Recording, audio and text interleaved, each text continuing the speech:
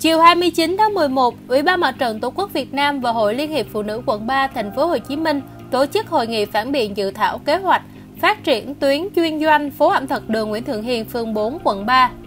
Theo Ủy ban Nhân dân quận 3, tuyến chuyên doanh phố ẩm thực dự kiến triển khai trên đường Nguyễn Thượng Hiền, đoạn từ đường Điện Biên Phủ đến đường Nguyễn Đình Chiểu thuộc địa bàn phường 4. Tuyến đường này dài 597 m, vỉa hè có chiều rộng từ 1 đến 1,5 m không đồng đều, lòng đường nhỏ hẹp.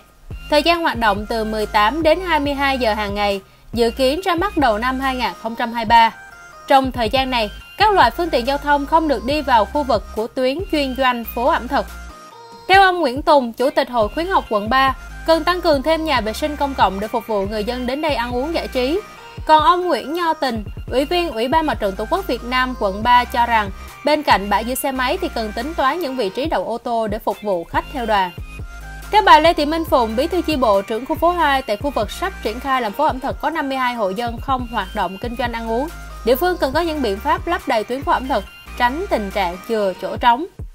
Nhiều đại biểu cũng đề cập đến những vấn đề như an ninh trật tự, giao thông, phòng cháy chữa cháy, an toàn vệ sinh thực phẩm, vệ sinh môi trường cho tuyến phố ẩm thực này. Liên quan đến ý kiến của bà Phụng, bà Phạm Thị Thúy Hằng, Phó Chủ tịch Ủy ban Nhân dân quận 3 cho biết, địa phương sẽ ưu tiên cho các hộ dân này tham gia vào tuyến phố ẩm thực, có thể là bằng cách cho thuê mặt bằng để cải thiện đời sống. Với những chỗ trống, địa phương cũng tính đến phương án mời các hộ kinh doanh ẩm thực có chất lượng nằm trên địa bàn quận đến tham gia kinh doanh.